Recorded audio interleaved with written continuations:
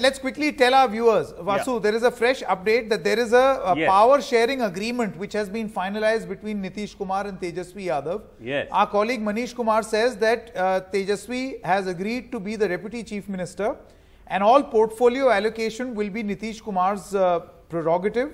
The speaker, however, is going to be from the RJD. Right. And uh, 4 lakh jobs uh, for the youths are going to be guaranteed in the first cabinet meeting. Right. Very detailed. So, no, no, that's important. So now already the contours, even before Nitish has reached the governor, the contours of the new Sarkar have already been announced. Which means they were talking about it for a while. They were, they've clearly been talking that's about it for a point I was while. going. CM Nitish Kumar, Deputy CM Tejashwi, Speaker from the RJD. So already now we're beginning to see the new formation taking shape. But will it hold? I think that's the key question as to whether they'll be able to, because last time they didn't last very long. They Nitish did, walked and they, ha- they have three years to go. And, and and Nitish walks out a lot, as we know.